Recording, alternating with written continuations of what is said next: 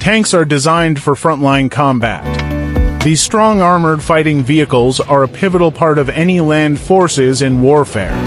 Tanks can be used in both offensive and defensive situations. With the help of the large caliber cannon fitted to its rotating turret, the tank can take hold of and dominate an area and prevent the advancement of enemy vehicles during combat. Modern tanks have gone through a century of development from the early armored war vehicles. The following 10 most bizarre tanks which, among many freakish tank designs, were actually constructed. Some militaries possess bigger dreams than others. However, not surprisingly, most of these ludicrous tanks never saw substantial action on the battlefield. Down spot with number 10. Christie Amph Christie's amphibious vehicle is one of the earliest. It follows the amphibious variant of the British Mark 9 tank, Essentially an amphibious armored personnel carrier armed only with two machine guns and preceded by the Vickers Carden-Lloyd light amphibious tank in the early 1930s. More of a gun carrier than a tank, as the vehicle was open-topped, it was, however, equipped with a 75mm field gun. During the footage it not only seamlessly operates on both land and water, it also fires for rounds as it crosses a body of water at the Aberdeen Proving Ground. Very little is known about the vehicle, but it is believed to be the second of three amphibious vehicles developed by Christie during the 1920s. None of the vehicles were purchased by the U.S. military and no major international orders were made either. Number 9, Mark V tank. The British Mark V tank was an upgraded version of the Mark IV tank. The tank was improved in several aspects over the Mark IV, chiefly the new steering system, transmission, and 150 bhp engine, but it fell short in other areas. Particularly its insufficient ventilation leading to carbon monoxide poisoning for the crew. The parallelogram form of the Mark V tank with the track going high at the front is quite well suited for getting across very uneven terrain at low speed. It can climb up a fairly high obstacle and get itself across a wide trench. The Mark V was, at first, intended to be a completely new design of the tank, of which a wooden mock-up had been completed. However, when the new engine and transmission originally planned for the Mark IV became available in December 1917, the first, more advanced Mark V design was abandoned to avoid disrupting production. Number 8. The Sturm Panzerwagen A7V the Sturm Panzerwagen A7V was a heavy tank introduced by Germany in 1918 during World War I. To design and build the first German tank was placed under the direction of Joseph Vollmer, one of Germany's foremost automobile designers.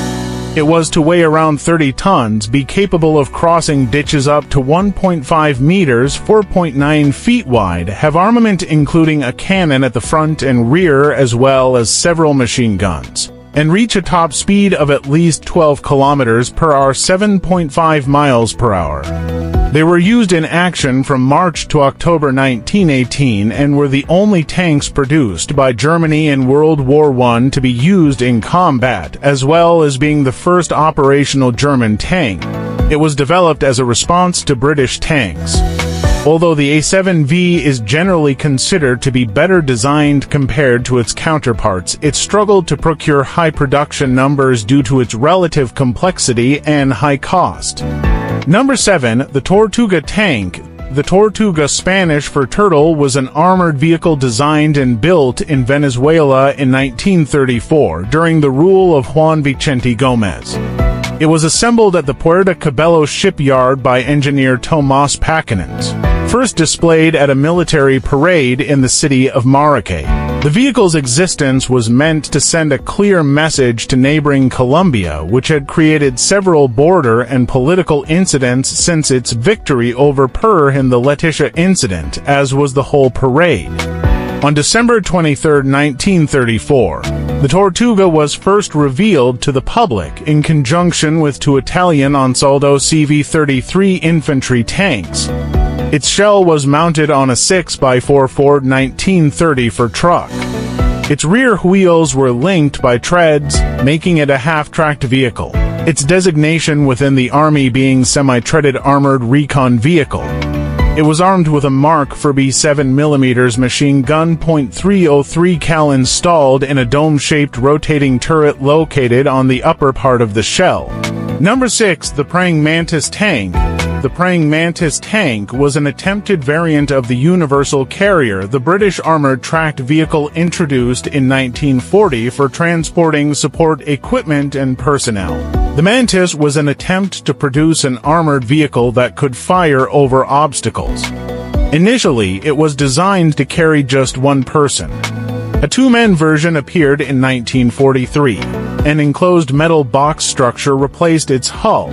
The box structure is pivoted at the rear of the vehicle and a driver and a gunner lay down in it. The structure could be elevated too, and on top of it was a machine gun turret fitted with two Bren light machine guns.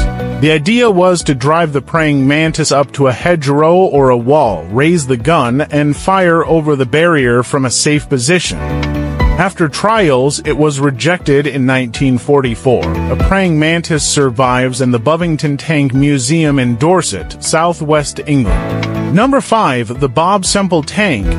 The Bob Semple tank, sometimes referred to as Big Bob, was a light tank designed by New Zealand Minister of Works Bob Semple during World War II originating out of the need to build military hardware from available materials. The tank was built from corrugated iron on a tractor base. Designed and built during a period of uncertainty in which New Zealand feared having to defend itself from Japanese invasion without external assistance. These tanks were a civilian effort to design and create a means to protect New Zealand. Designed and built without formal plans or blueprints, it had numerous design flaws and practical difficulties and was never put into mass production or used in combat. Due to the limitations of requirements and resources, the tank was a functional failure by using a large tractor as a base and bolting on a hastily designed and poorly constructed tank superstructure, the resultant tanks were inadequately armored, extremely heavy 20 to 25 tons, unstable, restricted by tractor gearing to slow speeds, and had to stop to change gears. Number 4. The Tsar Tank. The Tsar Tank, also known as the Netopir, was a Russian armored vehicle developed by Nikolai Lebedenko, Nikolai Yegorovich Zhukovsky, Boris Stechkin, and Alexander Mikulin from 1914 onwards. The project was cancelled in 1915 after initial tests deemed the vehicle to be underpowered and vulnerable to artillery fire. The Tsar tank differed from modern tanks in that it did not use caterpillar tracks rather, it used a tricycle design. The two front spoked wheels were nearly 9 meters 30 feet in diameter and the rear mounted third wheel was only 1.5 meters 5 feet high. According to the memoirs of Lebedenko, the idea of this machine was prompted by Turkic carts, which, thanks to large diameter wheels, were able to easily traverse bumps and ditches. The hull was 12 meters 39 feet wide with two more cannon in sponsons. Additional weapons were also planned under the belly. Each wheel was powered by a 240 horsepower Maybach engine, however, this attempt was unsuccessful, as were attempts to move the Tsar tank from its place and pull it out of the test area. Until 1917, the tank was guarded at the test site, but then, due to the outbreak of the Russian Revolution, the vehicle was abandoned. Number 3, Kugelpanzer. The ball tank Kugelpanzer literally means spherical tank. Built by the Nazis during World War II. It was a one-man reconnaissance tank prototype with an armored shell and viewpoint. It was one of the most bizarre armored fighting vehicles ever built. One unit can be found today at the Kubinka Tank Museum in Russia as part of their collection of German armored vehicles. The driving mechanism had been removed from the vehicle by the authorities. It is assumed that an engine was mounted behind or under the operator. A small directional wheel was installed at the rear to steer to circular tracks fitted to the sides of the sphere. The ball tank might not have been intended to be a platform for offensive weapons. It could have been possibly used for laying cables during the war. Number 2. The Antonov A-40. The Antonov A-40 also known as the Krylia Tanka meaning tank wings, was an ambitious but ultimately unsuccessful attempt by the Soviet Union to create a flying tank during World War II. It was designed to be a glider, towed by a plane and then released to silently deliver a tank behind enemy lines to support airborne troops or partisans.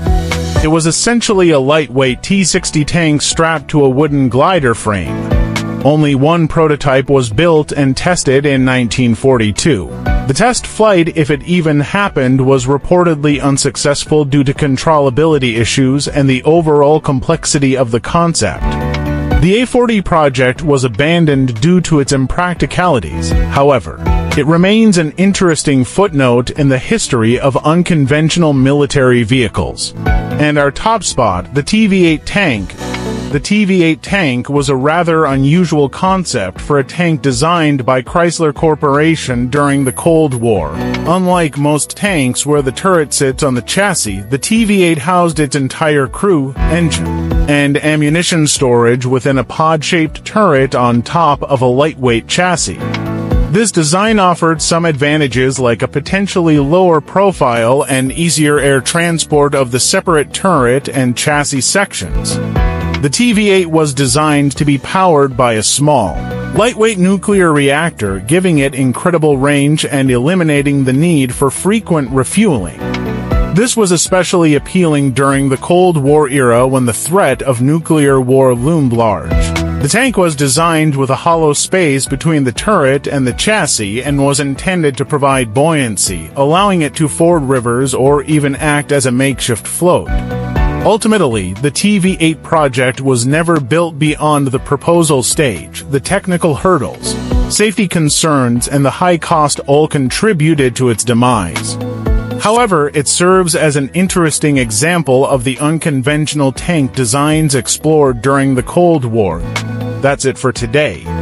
Don't forget to like and subscribe for military technology updates.